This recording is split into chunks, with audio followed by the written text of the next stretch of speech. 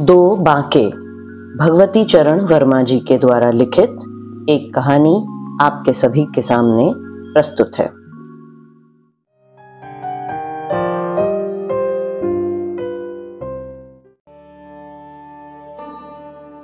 शायद ही कोई ऐसा अभागा हो जिसने लखनऊ का नाम ना सुना हो, और युक्त प्रांत में ही नहीं, बल्कि सारे हिंदुस्तान में। और मैं तो यहाँ तक कहने को तैयार हूँ कि सारी दुनिया में लखनऊ की शोहरत है। लखनऊ के सफेदा आम, लखनऊ के खरबूजे, लखनऊ की रेवड़ियाँ। ये सब ऐसी चीज़ें हैं जिन्हें लखनऊ से लौटते समय सौगात के तौर पर साथ ले जाया करते हैं। लेकिन कुछ ऐसी भी चीज़ें हैं जो साथ नहीं ले जाई जा सकती और उनमें लखनऊ की ज़िंदा दिली और लखनऊ की नफासत विशेष रूप से आती हैं। ये तो वे चीज़ें हैं जिन्हें देसी और परदेसी सभी जान सकते हैं। पर कुछ ऐसी चीज़ें भी हैं जिन्हें कुछ लखनऊ वाले तक नहीं जानते। और अगर परदेसियों को इनका पता लग जाए तो समझिए कि उन परदेसियों के भाग खुल गए। इन्हीं विशेष चीज़ों में आते हैं लखनऊ के बांके। बांके शब्द हिंदी का है या उर्दू का? यह विवादग्रस्त विषय हो सकता है। और हिंदी वालों का कहना है, इन हिंदी वालों में मैं भी हूँ, कि यह शब्द संस्कृत के बंकिम शब्द से निकला है। और यह मानना पड़ेगा कि जहाँ बंकिम शब्द में कुछ गंभीरता है कभी कभी कुछ तीखापन झलकने लगता है। वहाँ बांके शब्द में एक अजीब बांकापन है। अगर जवान बांका तिरछा ना हुआ तो आप निश्चय समझ लें कि उसकी जवानी की कोई सार्थकता नहीं। अगर चितवन बाकी नहीं तो आँख का फोड़ लेना अच्छा है। बाकी अदा और बाकी झांकी के बिना ज़िंदगी सूनी हो जाए। मेरे ख्याल से अगर दुनिया से माँ का शब्द उठ जाए तो कुछ दिल चले लोग खुदकुशी करने पर आमादा हो जाएँगे। और इसलिए मैं तो यहाँ तक कहूँगा कि लखनऊ बांका शहर है और इस बांके शहर में कुछ बांके रहते हैं, जिनमें गजब का बांकापन है। यहाँ पर आप लोग शायद झल्ला कर यह पूछेंगे मैं यह बांके है? है क्या भला कहते क्यों नहीं? और मैं उत्तर दूँगा कि आप में सब्र नहीं। अगर उन बांकों में एक बाकी भूमिका नहीं हुई तो फिर कहानी किस तरह बाकी हो सकती है? हाँ तो लखनऊ में रईस हैं, तवाइफे हैं और इन दोनों के साथ शोहदे भी हैं। बकौल लखनऊ वालों के ये शोहदे ऐसे वैसे नहीं हैं। ये लखनऊ की नाक है। लखनऊ की सारी बहादुरी के ये ठेकेदार हैं और जान ले लेने या दे देने पर आमादा रहते हैं। अगर लखनऊ से ये शोहदे हटा दिए जाएँ तो लोगों का यह कहना, अजी, लखनऊ तो जनानों का शहर है, सोलह आने सच्चा उतर जाए। जनाब इन्हीं शौदों के सरगनों को लखनऊ वाले बांके कहते हैं। शाम के वक्त तहमत पहने हुए और कसरती बदन पर जालीदार बनियान पहने उसके ऊपर बूटेदार चिकन का कुर्ता डांटे हुए जब ये निकलते हैं, तब लोग बाग बड़ी हसरत की निगाहों से इन्हें देखते हैं। उस वक्त इनके पट्टेदार बालों में करीब आध पाव चमेली का तेल पड़ा रहता है। कान में इत्र की अनगिनती फुहरियाँ घुसी रहती हैं और एक बिले का गजरा गले में तथा एक हाथ की कलाई पर रहता है। फिर भी अकेले ये नहीं निकलते, इनके साथ शागिर्द शौदों का जुलूस रहता है। एक से एक बोलियाँ बोलते हुए, फप्तियाँ कसते हुए और शोखियाँ हाँकते हुए। उन्हें देखने के लिए एक हुजूम उमड़ पड़ता है। तो उस दिन मुझे अमीनाबाद से नखास जाना था। पास में पैसे कम थे इसलिए जब एक नवाब साहब ने आवाज़ दी नखास तो मैं उचक कर उनके इक्के पर बैठ गया। यहाँ यह बतला देना बेजाना होगा कि लखनऊ के इक्के वालों में तीन चौथाई शाही खानदान के हैं और यही उनकी बदकिस्मती है कि उनका वसीका बंद या कम कर दिया गया और उन्हें इक्का हाँकना पड़ रहा है। इक्का नखास की तरफ़ चला और मैंने मियाँ इक्के वाले से कहा, कहिए नवाब साहब, खाने भर खाने पीने भर का तो पैदा कर लेते हो। इस सवाल का पूछा जाना था कि नवाब साहब के उद्गारों का बाँध टूट पड़ा। बड़े करण स्वर में बोले, क्या बतलाऊं हुजूर, अपनी क्या हालात है? कह नहीं सकता। खुदा जो कुछ दिखलाए देखूँगा। एक दिन थे जब हम लोगों के बुज़ुर्ग हुकूमत करते थे, ऐशो आराम की ज़िंदगी बसर करते थे, लेकिन आज आज हम उन्हीं की औलादों को भूखे मरने की नौबत आ गई। और हुजूर अब पेशे में कुछ रह नहीं गया। पहले तो तांगे चले, जी को समझाया बुझाया, मैं अपनी अपनी किस्मत, मैं भी तांगा ले लूँगा, यह तो वक्त की बात है, मुझे भी फ़ायदा होगा। लेकिन क्या बताऊँ हुजूर, हालात दिनों दिन बिगड़ते ही जा रहे हैं। अब देखिए, मोटरों पे मोटरें चल रही हैं। भला बताइए हुजूर, जो सुख इक्के की सवारी में है, वह भला तांगे और मोटर में मिलने का टांगे में पालथी मारकर आराम से बैठ नहीं सकते। जाते उत्तर की तरफ़ है और मुँह दखन की तरफ़ रहता है। जी साहब, हिंदुओं में मुर्दा उल्टे सिर ले जाया जाता है। लेकिन तांगे में लोग ज़िंदा ही उल्टे सिर चलते हैं। जरा गौर फरमाइए, ये मोटरें शैतान की तरह चलती हैं। वह बला की धूल उड़ाती हैं कि इंसान अंधा ही हो जाए। मैं तो कहता हूँ कि बिना जानवर के आप चलने वाली सवारी से दूर ही रहना। उसमें शैतान का फेर है, शैतान का। इक्के वाले नवाब और ना जाने क्या क्या कहते। अगर वे या अली के नारे से चौंक ना उठते, सामने क्या देखते हैं कि एक आलम उमड़ रहा है। इक्का रकाबगंज के पुल के पास पहुंचकर रुक गया। एक अजीब समा था। रकाबगंज के पुल के दोनों तरफ़ करीब पंद्रह हज़ार की भीड़ थी, लेकिन पुल पर एक आदमी नहीं पुल के एक किनारे करीब पच्चीस शोहदे लाठी लिए हुए खड़े थे और दूसरे किनारे भी उतने ही।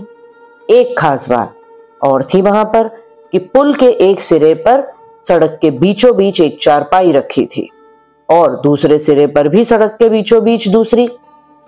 बीच बीच में रुक रुक कर दोनों ओर से या अली के नारे लग रहे थे। मैंने इक्के वाले से पूछा, क्यों मैं क्या मामला है? मैं इक्के वाले ने एक तमाशाई से पूछकर बतलाया, हुजूर, आज दो बांकों में लड़ाई होने वाली है। उसी लड़ाई को देखने के लिए यहाँ भीड़ इकट्ठी है। मैंने फिर पूछा, यह क्यों? मैं इक्के वाले ने जवाब दिया, हुजूर, पुल के इस पार के शोहदों का सरगना एक बांका है और उस पार के शोहदों का सरगना दूसरा बांका। कल इस पार के एक शोहदे से पुल के उस पार के दूसरे शोहदे का कुछ झगड़ा हो गया। और उस झगड़े में कुछ मारपीट हो गई। इस फिसाद पर दोनों बांकों में कुछ कहा सुनी हुई और उस कहा सुनी में ही मैदान बद दिया गया। अरे हुजूर, इन बांकों की लड़ाई कोई ऐसी वैसी थोड़ी ही होगी? इसमें खून बहेगा और लड़ाई तब तक खत्म ना होगी जब तक कि एक बांका खत्म ना हो जाए। आज तो एक आध लाश गिरेगी। ये चारपाइयाँ उन बांकों की लाश उठाने आई हैं। दोनों बांके अपने बीवी बच्चों से रुखसत लेकर और करबला के लिए तैयार होकर आवेंगे। इसी समय दोनों ओर से या अली की एक बहुत बुलंद आवाज़ उठी। मैंने देखा कि पुल की दोनों तरफ़ हाथ में लाठी लिए हुए बांके आ रहे हैं। तमाशाइयों में एक सत्ता सा छा गया। सब लोग चुप हो गए। पुल के इस पार वाले बांके ने कड़क कर दूसरे पार वाले बांके से कहा, उस्ताद! और दूसरे पार वाले बांके ने कड़क कर उत्तर दिया, उस्ताद! पुल के इस पार वाले बांके ने कहा, उस्ताद, आज खून हो जाएगा, खून! पुल के उस पार वाले बांके ने कहा, उस्ताद, आज लाशें गिर जाएँगी, लाशें! पुल के इस पार वाले बांके ने कहा, उस्ताद, इस कहर हो जाएगा, आज कहर का दिन है, कहर! पुल के उस पार वाले बांके ने कहा, उस्ताद, आज कयामत बरपा जाएगी, कयामत. चारों ओर एक गहरा सन्नाटा फैला था। चोरों, लोगों के दिल धड़क रहे थे। भीड़ बढ़ती ही जा रही थी। पुल के इस पार वाले बांके ने लाठी का एक हाथ घुमाकर एक कदम बढ़ते हुए कहा तो फिर, उस्ताद, होशियार। पुल के इस पार वाले बांके के शागिर्दों ने गगन भेदी स्वर में नारा लगाया, या अली। पुल के उस पार वाले बांके ने लाठी का एक हाथ घुमाकर एक कदम बढ़ाते हुए कहा तो फिर उस्ताद, संभलना। पुल के उस पार वाले बांके के शागिर्दों ने गगन भेदी स्वर में नारा लगाया, या अली! दोनों तरफ़ के दोनों बांके कदम ब कदम लाठी के हाथ दिखलाते हुए तथा एक दूसरे को ललकारते हुए आगे बढ़ रहे थे।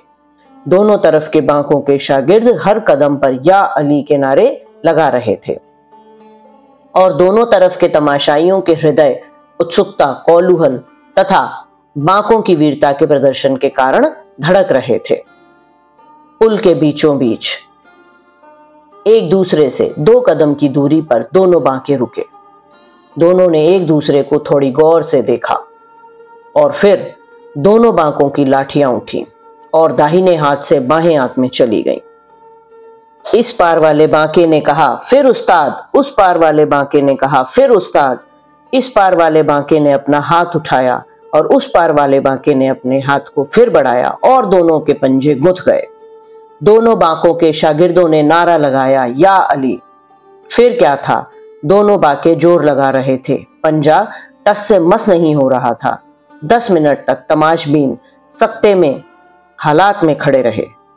इतने में इस पार वाले बांके ने कहा, उस्ताद, गजब के कस हैं। उस पार वाले बांके ने कहा, उस्ताद, बला का ज़ोर है। इस पार वाले बांके ने कहा, उस्ताद, अभी तक मैंने समझा था कि मेरे मुकाबले का लखनऊ में कोई दूसरा नहीं है। उस पार बांके वाले ने कहा, उस्ताद, आज तक कहीं जाकर मुझे अपनी जोड़ का जवाब मर्द मिला है। इस पार वाले बांके ने कहा, उस्ताद, तबीयत नहीं होती कि तुम्हारे जैसे बहादुर आदमी का खून करूँ। उस पार वाले बांके ने कहा, उस्ताद, तबीयत नहीं होती कि तुम्हारे जैसे शेर दिल आदमी की लाश गिराऊं। थोड़ी देर के लिए दोनों मौन हो गए। पंजा गुथा हुआ, टस से मस नहीं हो रहे थे। इस पार वाले बांके ने कहा, उस्ताद, झगड़ा किस बात का है? उस पार वाले बांके ने कहा, उस्ताद, यही सवाल मेरे सामने भी है। इस पार वाले बांके ने कहा, उस्ताद, पुल के इस तरफ़ के हिस्से का मालिक मैं उस पार वाले बांके ने कहा, उस्ताद, पुल के इस तरफ़ के हिस्से का मालिक मैं। और दोनों ने एक साथ कहा, पुल के दूसरी तरफ़ से ना हमें कोई मतलब है, ना हमारे शागिर्दों को। दोनों के हाथ ढीले पड़ गए। दोनों ने एक दूसरे को सलाम किया और फिर दोनों घूम पड़े। छाती फुलाए हुए दोनों बांके अपने शागिर्दों से आ मिले। बिजली की तरह यह खबर फैल गई कि दोनों बराबर की जोड़ छूटे और उनमें सुलह हो गई। इक्के वाले को पैसे देकर मैं वहाँ से पैदल ही लौट पड़ा, क्योंकि देर हो जाने के कारण नखास जाना बेकार था। इस पार वाला बांका अपने शागिर्दों से घिरा चला जा रहा था।